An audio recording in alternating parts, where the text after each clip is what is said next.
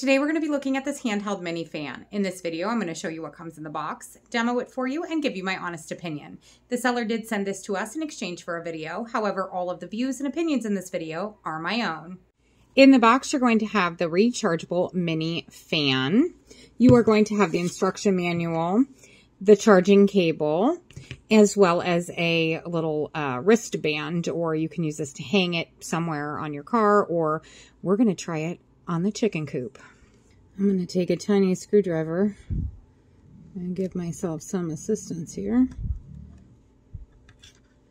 Just like so.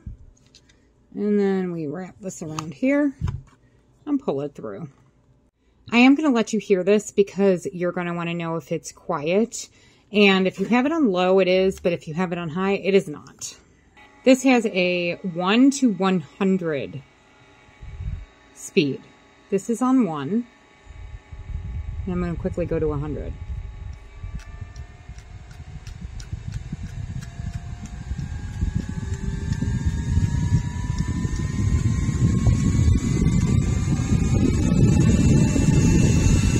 It sounds like a little better.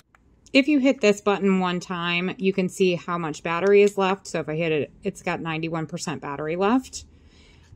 But if you're looking for a quiet fan, this is not it. If you're looking for a pretty powerful one, I would highly recommend this one.